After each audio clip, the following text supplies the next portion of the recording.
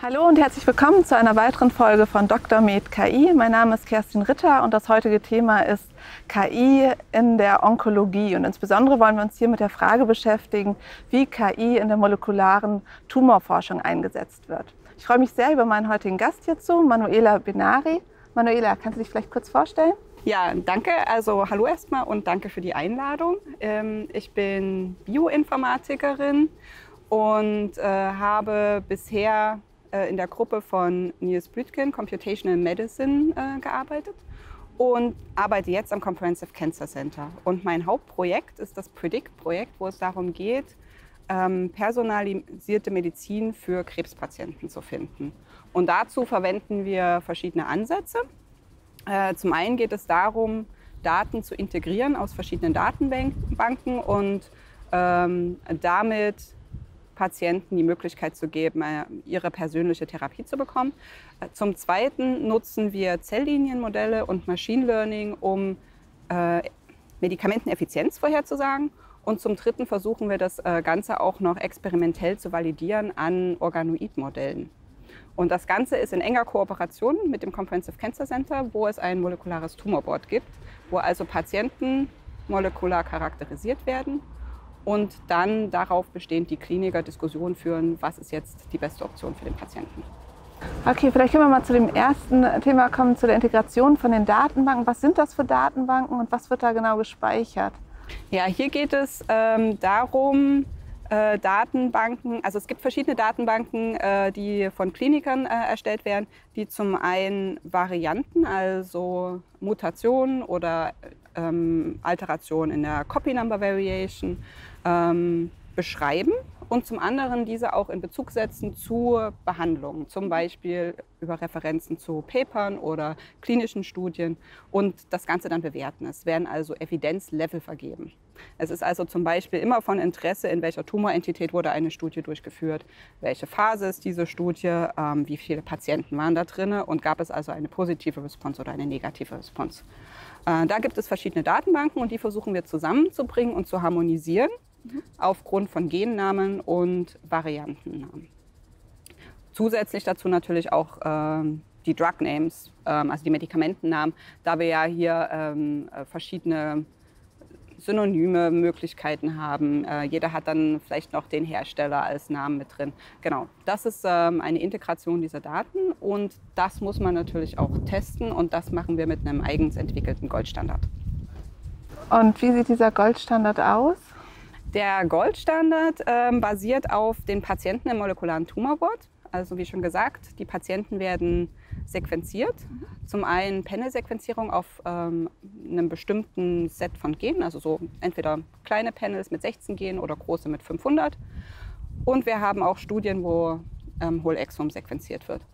Und wir haben jetzt ähm, für 113 Patienten die Auswertung der Kliniker und wissen also, welche Varianten waren relevant, welche Varianten wurden diskutiert und was war dann letztendlich die Behandlungsempfehlung des molekularen Tumorboards. Das Ganze haben wir auch ebenfalls harmonisiert und normalisiert und können das als Goldstandard nutzen für die Evaluierung dieser Datenbankintegration. Und diese 113 Patienten und Patientinnen, sind die alle von, von der Charité und haben die eine bestimmte Krebsart oder sind das ganz unterschiedliche? Das sind ganz unterschiedliche. Also ähm, im Moment ist es so, dass viele Patienten, die am molekularen Tumorboard sich vorstellen, über eine Studie reinkommen. Das sind ähm, eine Studie, die sich mit äh, seltenen Entitäten beschäftigt ähm, und eine Studie, die sich mit Melanomerkrankungen äh, beschäftigt, sodass also hierdurch tatsächlich auch vorgegeben ist, welche Tumorerkrankungen man hat. Und dann gibt es auch immer noch äh, Patienten, die über die molekulare Pathologie äh, eine Panel-Sequenzierung bekommen. Das sind meistens Patienten der Charité, aber nicht immer. Das heißt, es ist auch nicht immer eine klinische Information vorhanden, zum Beispiel über vorherige Behandlungen, ähm, spezielle Eigenschaften in der Histologie des Tumors oder so. Das kann manchmal fehlen. Okay, aber man hat eine Information darüber, wie erfolgreich eine Behandlung war oder auch nicht immer?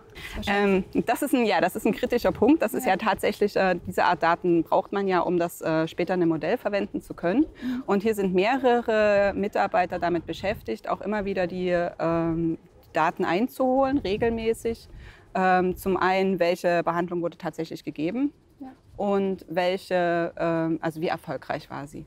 Und es gab bisher nur eine prospektive Studie zur personalisierten Onkologie. Die war leider nicht erfolgreich. Also sprich, personalisierte Onkologie hat in dem Fall keine Verbesserung okay. zum, zum Standardbehandlung ja. gebracht. Ja. Und wir haben aber retrospektiv auf 100 Patienten zumindest eine ähm, Verbesserung zeigen können. Aber da ist der Datensatz halt auch sehr klein. Das große Problem sind also hier wirklich auch die Menge der Daten. Ja. Und wenn ihr jetzt, ihr habt dann die Sequenzierung, das sind eure Hauptdaten, aber ihr habt wahrscheinlich auch noch andere Daten wie demografische Variablen, Alter, Geschlecht, Medikamente nicht unbedingt. Geht das auch mit in das Modell rein? Spielt das eine Rolle oder versucht ihr das quasi nur auf der Sequenzierung ja, ansprechend vorherzusagen? Genau, also im Moment versuchen wir tatsächlich nur auf der Sequenzierung das Ganze, das ansprechend vorherzusagen, beziehungsweise ähm, mögliche ähm, Behandlungsoptionen in, durch die Integration dieser Datenbanken zu finden. Mhm. Und ähm, es stellt sich dabei raus, also wir haben auch ähm, wir haben ganz einfache Maße verwendet, um das gegen den Goldstandard abzugleichen, also ähm, Präzision und Recall und dann den entsprechenden F1-Score und sehen also, dass wir Schwierigkeiten haben, alle Datenbanken zusammenzubringen. Ähm, es gibt zwei Datenbanken, die besonders gut sind. Und wir kommen aber nie, also wir kommen nie sozusagen perfekt zu dem, zu dem Goldstandard hin. Wir haben auch ein logistisches Modell gemacht, um sozusagen das mal versuchen zu, zu verstehen, welche Datenbanken da wirklich jetzt den besten Effekt haben. Ob, dass man einfach den Onkologen auch sagen könnte, ja, dann, wenn ihr schon jetzt Datenbanken durchsucht, dann nehmt diese. Okay. Ja. Ganz, ganz simpler Ansatz. Ja. Ähm, und hier ist es tatsächlich so, dass also zwei Datenbanken herausstechen und besonders gut sind, aber auch die nicht all das abgreifen, was tatsächlich dann noch weiterführend im Tumorboard besprochen wird. Die können nicht, also die decken nicht alles ab. Also es ist viel mehr, was die Kliniker tatsächlich an Hintergrundwissen haben, was man nicht so in, äh, in Datenbanken ab, äh, abdecken kann. Und, aber diese Datenbanken, wer erhebt die genau? Sind das dann auch Krankenhäuser oder? Ja, das sind auch Krankenhäuser. Genau, das sind Kliniker, die das in ihrer Freizeit zum Teil machen. Mhm. Äh, da ist äh, Civic als Datenbank zu nennen und äh, das MD Anderson hat äh, die Datenbank OncoKB, die machen das sozusagen dauernd. die erheben auch viel mehr Sequenzierdaten von Krebspatienten. Ähm, gibt es denn deutschlandweit Initiativen, eine umfassende Datenbank zu erheben, wo alle möglichen Patienten mit bestimmten Krebssorten, die eben relevant sind, zu erheben und auch eine, um dann auch standardisierte Daten zu erheben, um das genauer untersuchen zu können? Hm, Im Moment gibt es genau eine Studie für Lungenkrebs. Mhm. Die äh, ist in Zusammenarbeit mit den Krankenkassen tatsächlich. Und da wird also für jeden, äh, ich glaube, für jeden Lungenkrebspatienten, äh, der englische Begriff ist Non-Small Cell Lung Cancer, mhm. ähm,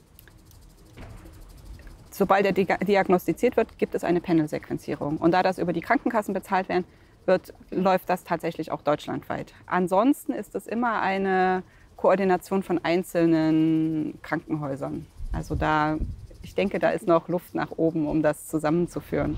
Ja. ja. Aber es ist auch, aber es ist nicht so, dass für jeden äh, Patienten mit Krebs so eine Sequenzierung relevant ist, weil man für bestimmte, die kennt man dann gut, da braucht man das gar nicht, da hat man eine Standardtherapie.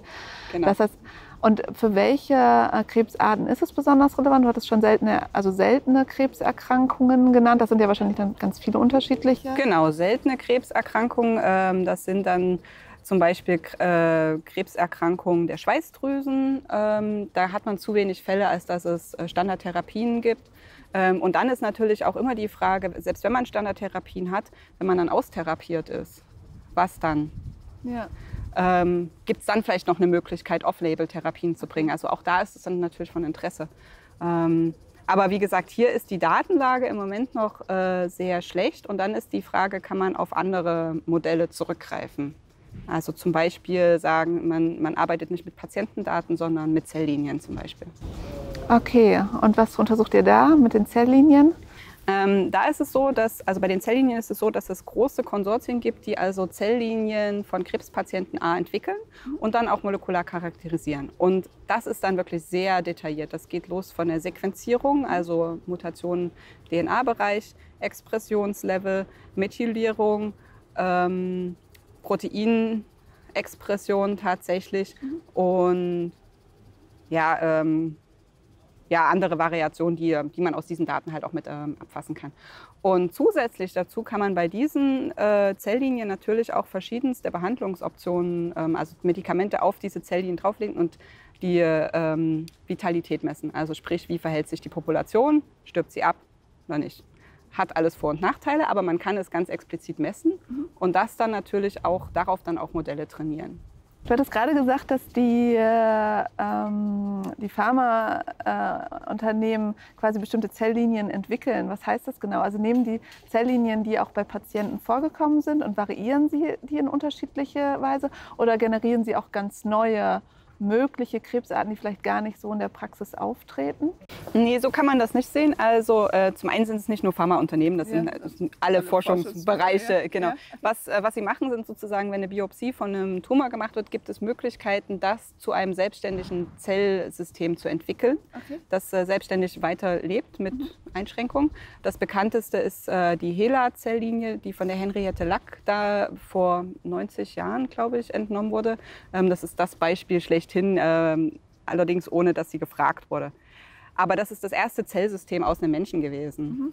So, und dann kann man diese Zellsysteme natürlich weiterentwickeln, indem man sagen kann, ja, wir versuchen jetzt eine Resistenz zu entwickeln. Ja. Wir versuchen jetzt irgendwie ähm, eine andere Alteration reinzubringen. Aber das wird nicht ein anderer Tumor.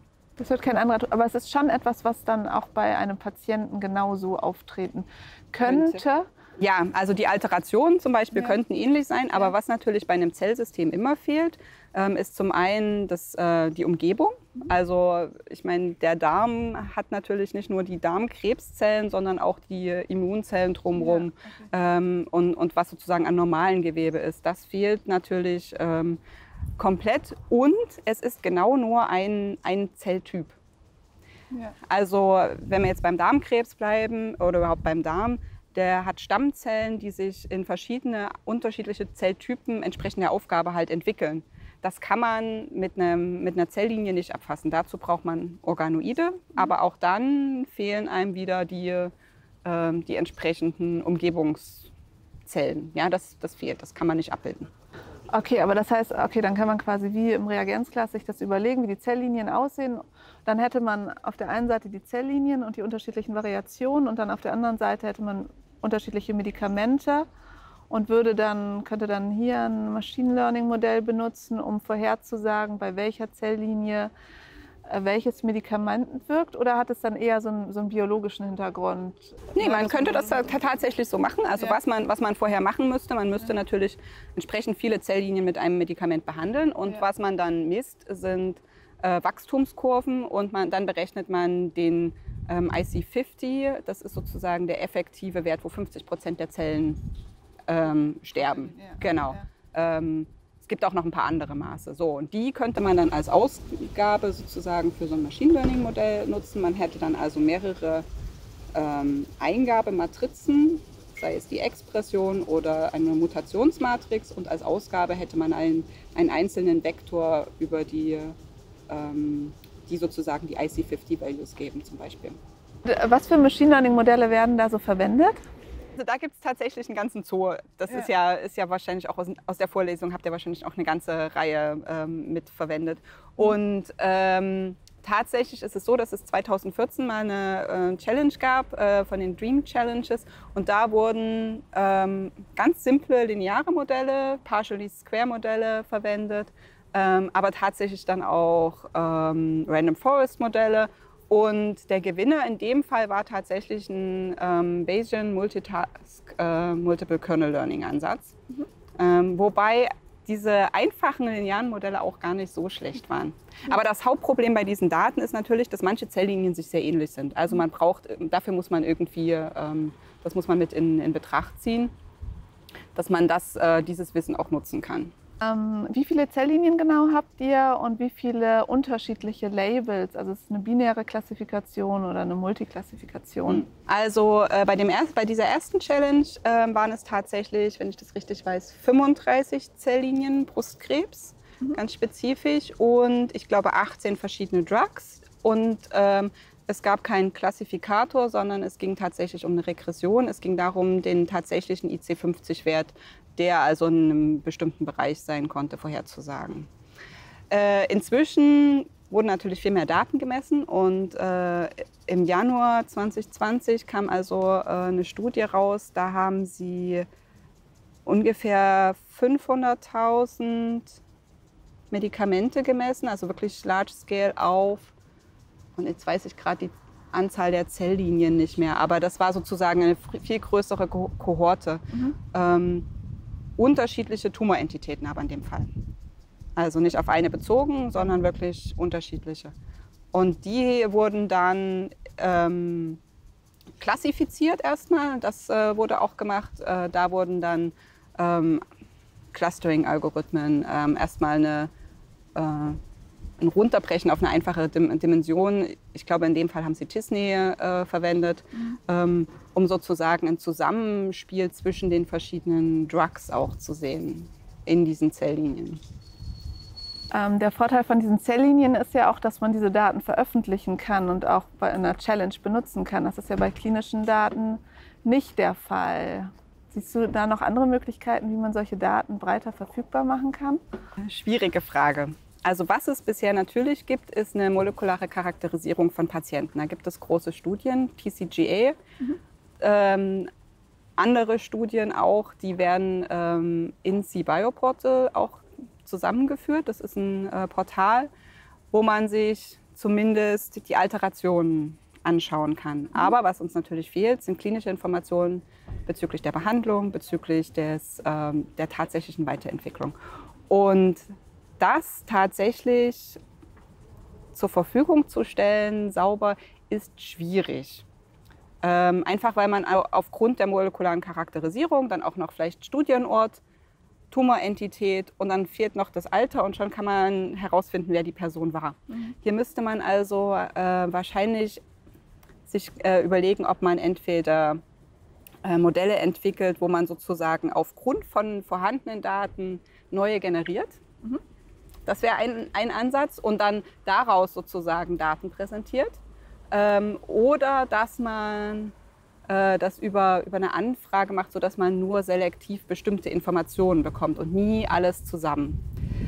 Ähm, ich denke, da gibt es sicherlich auch schon Entwicklungen. Auch ähm, Chiffrierung wäre natürlich auch noch eine Möglichkeit.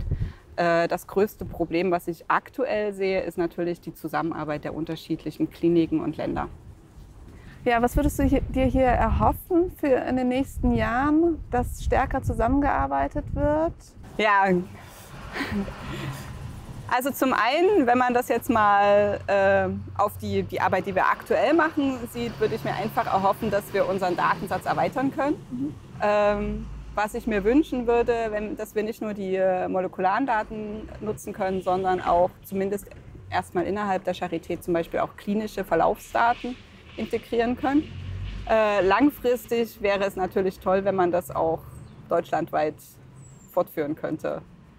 Ähm, und dann halt äh, eine große Fragestellung, die sich auch immer wieder stellt, ist, wie können wir dieses Thema den Klinikern, also den Onkologen nahebringen, dass sie auch wirklich wissen, dass es diese Möglichkeiten gibt und wie sie mit Vorschlägen jetzt von Bioinformatikern umgehen müssen. Also das ist mehr so die Frage, wie können wir, wie können wir Onkologen erreichen? Äh, ja, das ist ein total interessanter Punkt. Äh, wie ist denn im Moment die Zusammenarbeit mit Klinikern? Seid ihr zum Beispiel bei so einem molekularen Tumorboard dabei? Äh, tatsächlich ja, das ist ähm, in der Tat so. Ich bin seit 2017 äh, bei dem molekularen Tumorboard hier am Comprehensive Cancer Center, Center mit dabei und habe in der ganzen Zeit auch in dem Predict-Projekt immer sehr eng mit den Onkologen, die direkt im molekularen Tumorboard arbeiten, zusammengearbeitet. Das sind aber Onkologen, die wirklich äh, sich in ihrem Feld auch schon auskennen. Und noch interessanter wäre es natürlich, Onkologen mit an Bord zu bringen, die eventuell Patienten haben, wo sie vielleicht die vielleicht davon profitieren könnten, mhm. eine molekulare Charakterisierung zu machen und dann vielleicht auch ähm, Organoidmodelle aus, aus diesem Tumor zu entwickeln, mm, aber noch gar nicht wissen, welche Möglichkeiten es hier gibt. Ähm, genau, das war nochmal das letzte Thema, was du angesprochen hast, dass man immer noch auf die Umgebung, also dass die Zelllinien quasi nicht ausreichen, sondern dass man immer noch gucken muss, was ist in der Umgebung von Zellen. Da würde ich mir denken, das ist ein unglaublich komplexes Problem und sehr, sehr schwierig zu adressieren. Ja, und an der Charité gibt es also tatsächlich auch einige ähm, äh, Bestrebungen, sozusagen das mit in Bezug zu nehmen, sodass man also nicht nur die Tumore sequenziert, sondern wirklich auf äh, Einzelzellebene äh, eine Sequenzierung macht, sodass man dann halt zum Informationen hat über Klonalitäten. Ähm, da ist das BIH und das MDC mit involviert. Ja, super, sehr spannend. Herzlichen Dank für das Gespräch. Tschüss.